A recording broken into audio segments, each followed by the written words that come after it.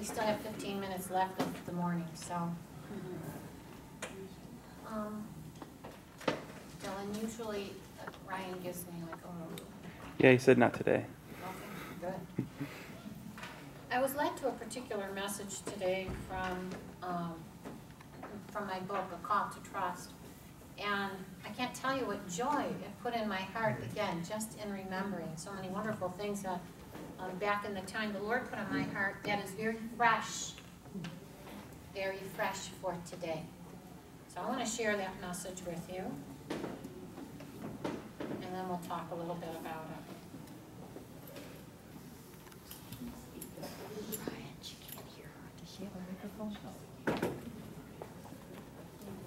Can't hear me? No, she can. Okay. Can I have the microphone, please?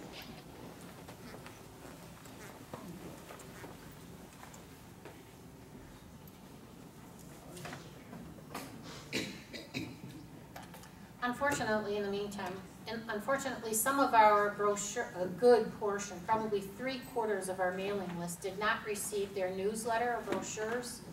We did them by bulk mail, and um, there was some kind of mix-up, mishap, whatever, that they were dumped someplace and left. So if you did not get our brochure of the, all the upcoming events, please check on the, the table outside, we have them, and please take them to your churches if you can. Ask permission of your pastor first, and um, pass them out. We don't have the money to resend them, it's, it's just too expensive, or to reprint them, so, and we want to make sure that everybody receives the information.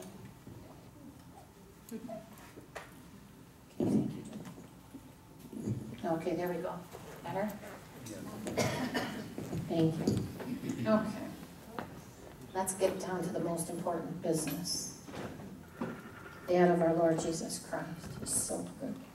Jesus says, Brothers and sisters, sons and daughters, my people, I love you. I, the Lord God, desire to fill every emptiness that you have ever had or will ever have. It is not necessary, my children, for you to feel my presence.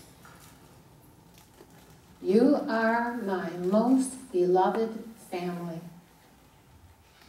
You just need to know and believe fully that I rest in you.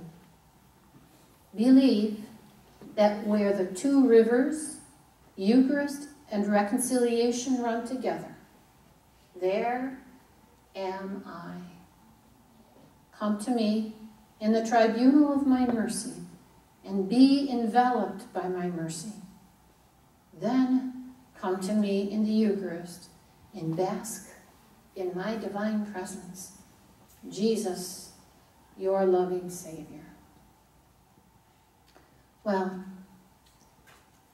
that brought some very beautiful memories to my heart and to my mind that I want to share with you today. The most important thing after forgiving me of my sins that Jesus ever said to me that I know is truth and that I know is the foundation of this ministry is I desire healing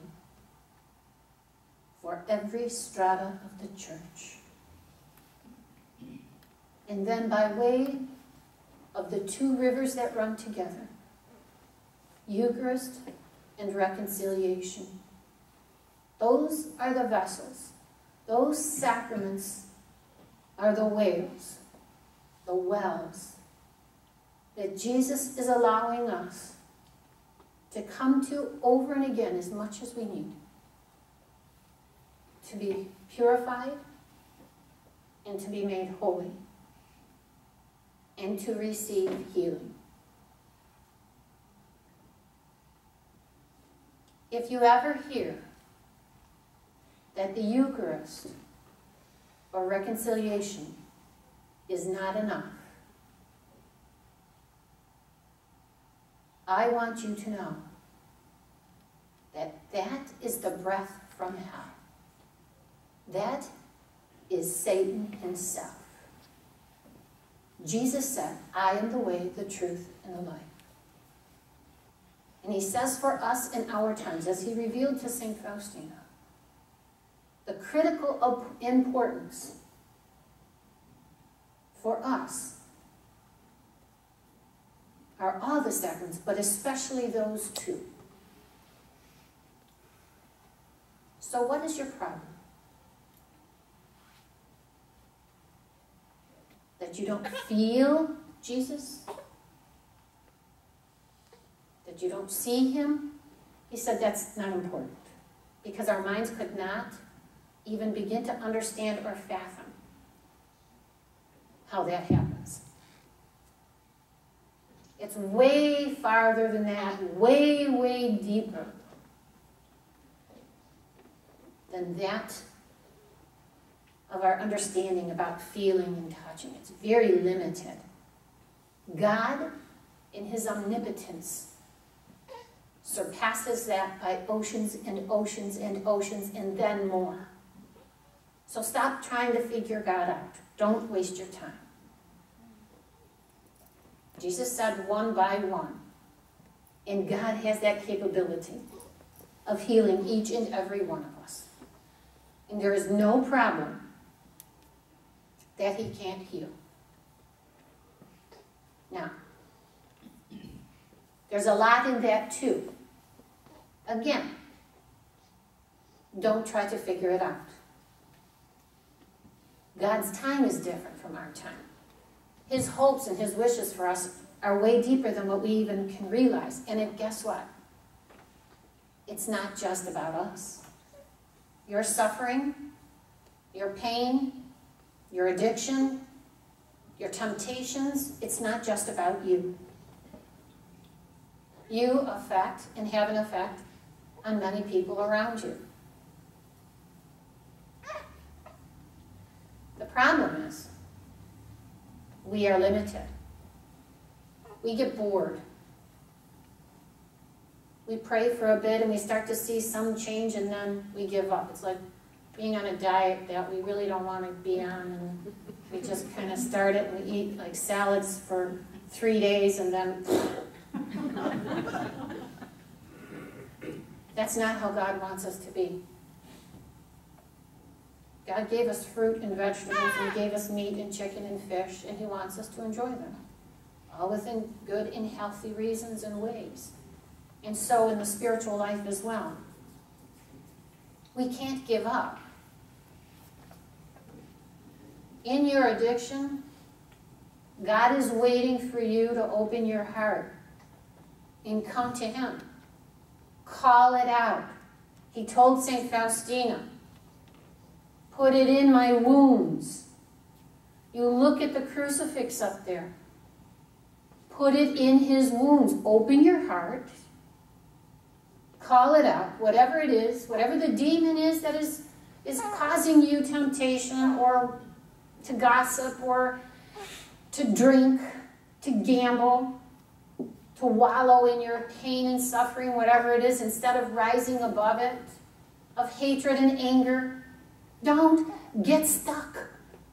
You do it to yourself. And you open the door to the devil by doing that. You want to disarm Satan in your life? You want to break the chains that hold you bound in whatever areas? Put whatever it is that has got you bound in the wounds of Jesus Go to a holy priest. Make an appointment with him if you have to for the sacrament of reconciliation, God present to you, and give it all to him. And ask him to pray with you and for you. Receive the anointing of the sick if you need to get that. And then go to communion. Receive Jesus in Holy Communion if we can be totally honest, if we can open the door of our heart and ask the Lord to give us light. Because sometimes we're so wrapped up we don't even know. It starts off with one thing and it ends up to 50 other problems. And it affects everyone around us. If you're anxietous, that's not what the Lord would have for you. You're too busy. Means you need to stop. Take some time to come before Him in the Blessed Sacrament. Ask Jesus for the light. He said, I am the light.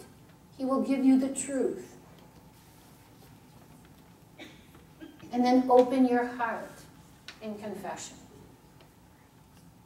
St. Faustina teaches us not every priest is a good spiritual director. Guess what? You and I have a responsibility for our own spirituality. But what do you do when you want to buy a car? You look at everything. How many miles, how many, whatever that report thing is that you check out to find out what is the best, most economic, etc., etc. You look for the best for your money. And yet spiritually, we just go from day to day, week to week, month to month. Just go rolling into the next thing. We get on the phone and we know maybe this isn't a phone call I should be making right now. I'm angry. And what's going to happen in that? I'm going to gossip.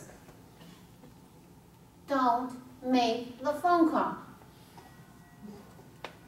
If you know a particular store sells the filthy magazines that are pornographic, that are causing problems in your life, do not go to the store. Don't walk into that store and say, you know, God protect me, don't let this affect me. Hello. Avoid that temptation. Don't go there. Go someplace else that you know you can. Pray for God's grace and the intercession of the Holy Mother of God, the Blessed Virgin Mary. Listen, if you don't get this now and in these times, you are never going to make it. We won't make it. We're running all over the place looking for some kind of gimmick, program, plan, something that's going to do something new. And we haven't even given Jesus Christ a real chance. And by so many of our priests, we're being sold short. There are many godly and holy priests. But there are so many, and we're just not getting it from the pulpit. And I'm sorry. They have an obligation to preach it to us too. And if they would take the time, and if we would take the time to do exactly what Jesus says, our prayers would be answered. Maybe it will be like St. Monica and take 40 years. Maybe because there's so much that has to happen that because of our own sins and those of our families, it's taking so much longer.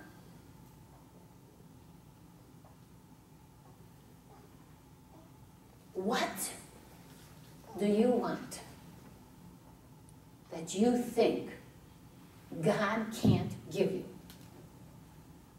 Have problems. Maybe it's marriage problems. Maybe it's mother-in-law problems. Maybe it's problems in the family. Like I said, addictions, drugs, drinking. Lay it down. Realize that you're not in heaven. So we have to do what Jesus says. Fight like valiant soldiers. He doesn't say hang out and wimp around and just whatever. He said fight. Fight like valiant soldiers. Well, you can't give what you don't have. You can't just go sit in the pew and receive communion, go to confession, and just think, well, what, you know, go through the rubrics of things. Do it again and again like it's the first time. Because really, every time you encounter Jesus, you can expect something new. Unless your eyes are covered, your ears are covered, and your heart is so calloused that you can't hear and you can't see. Listen, I still can't get over what happened a few weeks ago here on the vigil of the Assumption. Our prayer minister, the eyesight was healed. Her eye was blocked. She couldn't see. During the third decade of the Rosary, she implored Our Lady, our Lord, through Our Lady, for healing so she can see. You can't, she couldn't stop weeping for Thanksgiving. Nobody was doing anything. God was in our midst. And Our Lady, her gown was just swooshing all over the place. She was busy doing a lot of stuff here. Do you know, do you have any idea how that stuff happens? It happens because you, people like you, come and pray, make penance. Our prayer ministers come here day after day. They give themselves. Who isn't busy today? Who doesn't have a load of wash to do or grandkids to babysit or work that grass that needs to be cut, whatever? We're all busy. But in spite of that, they come here. And why do they come here to this place? I believe two things. Jesus revealed this is the place where the two rivers run. Now, the sacraments are in all the Catholic churches. But in this particular place, the beauty of this place of refuge, Jesus' words, is because so many years, these holy grounds, this holy church, was a place of perpetual adoration, where a priest and his sister lived and breathed and taught and suffered. And the people of God came here year after year, day after day, and prayed. They prayed with faith, and that's what has to change in our lives. We have to be more faithful. All of us. We have to stop and recognize something is an obstacle in our life that is separating us from the grace of God. Now, for whatever God's reason, I can't explain it, but I can tell you. Sometimes God allows suffering, ongoing suffering. Again, that's oceans and oceans far beyond my capability of explaining, but deep in my soul, I know these are very holy people. Their suffering isn't taken just for themselves, especially if they're engaged in the spiritual life. If they are engaged in receiving and living a sacramental life, God will use that suffering. We see this in the lives of little children sometimes. We see this in adults who have ongoing. Now, that doesn't mean that we go around saying, poor me, look at me, or anything like that. That's not what I'm talking or broadcasting that I am a victim soul. Forget that. When people talk like that, I run. I like the, the, the hidden, the quiet. That speaks holiness because that's the way of the Lord. And Our Lady, they don't look for attention. They do their best to live their life. In our lives, when we encounter such suffering, we look at the cross, We are transfigured, in the words of Brother Esteban, to the persona of Christ, the person of Christ. That is when we are like him. You know, all the times we pray the stations of the cross and say all those wonderful things about the walk of Jesus Christ in Calvary, that's our walk. That's the cross. And in those times, we do what he did we submit, and we pray, and we pray for healing, if that's God's will. And of course, He said, I desire healing. Um, maybe the healing that God has in His heart is different from the healing that we're thinking about. Maybe God wants a different kind of healing for you, someone in your family, somebody in the purgatory of your family, some family member. Who knows? Maybe God is taking time to go deeper in our hearts and souls, in our marriages, in our families. And it's not for us to jibber jabber and talk, talk, talk, talk, talk about it. It's about us to open our hearts to the Lord. Ask Him to go where we can't and where healing is needed. And trusting Him that in spite of all of it, we will remain faithful. We are the valiant soldiers of these times. And all the good that we do, we benefit from in ways that we aren't even aware of. But so do our brothers and sisters. The ones that we are related to by blood, but those around the whole world. Don't worry. This time on earth is very short. What? If you're lucky, 90, maybe 103, 4, 6, whatever the record is. But eternity is forever. Eternity is forever. Some of the saints, mystics, that have been blessed with visions of heaven, hell, and purgatory, and whose understanding about suffering is so profound, given by God, they would say, if we could only understand the redemptive value of suffering, we would ask God for more. Could you imagine that? I don't recommend asking God for anything like that. My opinion? I prefer to trust Jesus. He knows me. He knows what will break my back. So I don't go out there looking for more suffering. Whatever is on my plate, I do my best to handle like a valiant soldier. I don't go asking people, God, for people's cancer and take it away and do all that kind of stuff. I don't believe in that at all. I believe in Jesus Christ. I believe in the most blessed Trinity. I believe God fashioned me in my mother's womb knowing full well of who I was going to be, what I have and what I have not. And so I trust Him that whatever He gives me, I will pray and I promise throughout my life to fight like a valiant soldier. But the medicine for our times is what the world fights us with, and that's our time.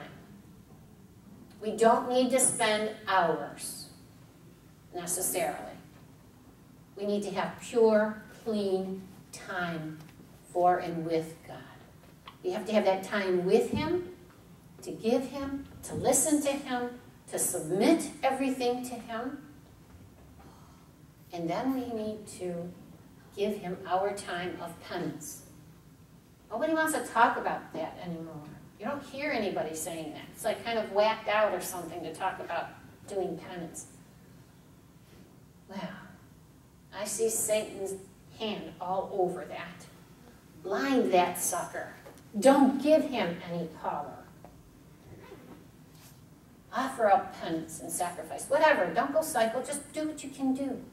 Like St. Therese. You can pick a string up off of the carpet and offer it in the name of Jesus Christ. You can sew something that you, sew your husband's sock that you don't want to do. Or go wash your wife's car and vacuum it and shine it. Or babysit for someone in your family or your next door neighbor or something. Those are things that are good and holy, worthy, corporal, spiritual works of mercy. That's how you fight like a valiant soldier. And in all of that, God will do something great. Open your eyes, open your heart, ask and submit. Amen. One more thing.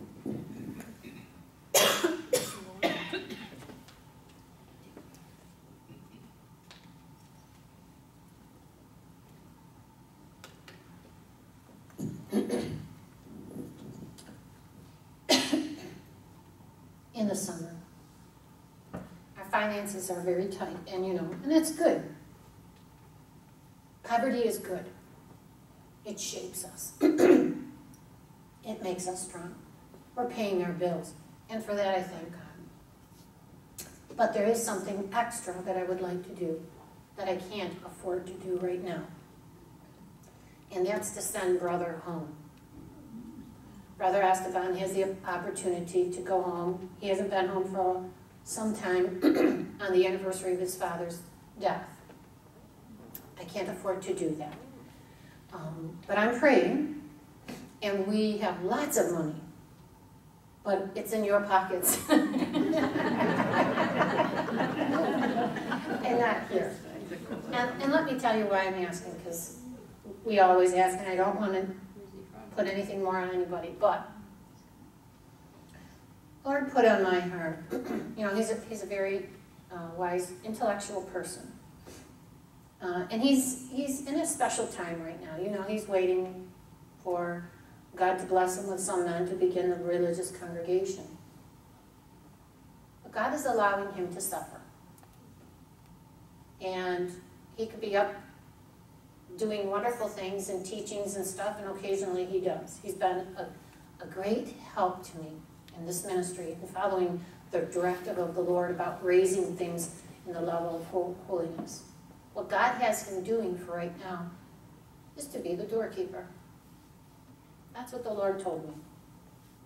He's the doorkeeper. He's in the bookshop, shop, gift shop, ordering things, working things out, doing whatever to raise it up, to get it to where we need it to be. But in that time, people walk in and they ask him questions. They ask him spiritual things. He hears all kinds of stories. And he's there. So I would like to give him some vacation time. We know the doorkeeper is very important. We have some very holy and special doorkeepers in the history of our church. And for me, that's what brother is for now. And so, as his sister, I just ask. I have, someone has already donated $100. It's going to take $500 just to um, do the accommodations or whatever, uh, driving and whatever, playing, whatever he's doing. Anyway, that's just the cost. If you could find it in your heart today to help me to meet that goal, I would greatly appreciate it. Don't burden yourself. If it doesn't happen, everything is in God's hands, but I trust that it will. So if you can afford it, I'm going to put a basket at the altar with the first hundred dollars. And if you have whatever you have to put in that basket, um, we'll work towards getting him home, God willing, for his father's anniversary, which is the 30th, 30th of this month. May God bless all of us. We have a, a wonderful long weekend coming up. Enjoy the summer, God's creation. Make sure you take some time to take your cup of coffee or a nice cold beer if you can, if that's not a problem. take it outside as you are relaxing under a nice tree with a sandwich or something. Be with your family, good friends. Spend time with Jesus and have great expectations for him. God bless you. I love you and thank you. Yes. Yes. Where is Mr. Esteban's home? Is it in Italy? Oh, I'm sorry. No, no, not, that's, Italy is for us, okay? He, he's in Texas. His family's in Texas. Yes, it's in Texas, yeah. Yeah, he hasn't been home yet for the anniversary of his father's death. So they're looking forward to uh, maybe having their son and brother home for, for uh, this weekend. So God willing, it will happen if it's meant to be. Thank you for your kindness and your generosity. Catherine, Yep, If you make out a check, do we all know just to make it out to servants? of- make it out to the Divine Mercy Center. Yeah, this, this particular uh, collection, or I'm just gonna put it up here, you do whatever you want, is going to be a restricted donation. Oh, okay, so you, write it, okay. It goes to the, write it to Divine Mercy Center, and there are envelopes in your pew, and you could just write Brother Esteban, we know what it's for, and it will be given to him, okay? Many have done quite a bit already, and especially, thank you so much for the beds.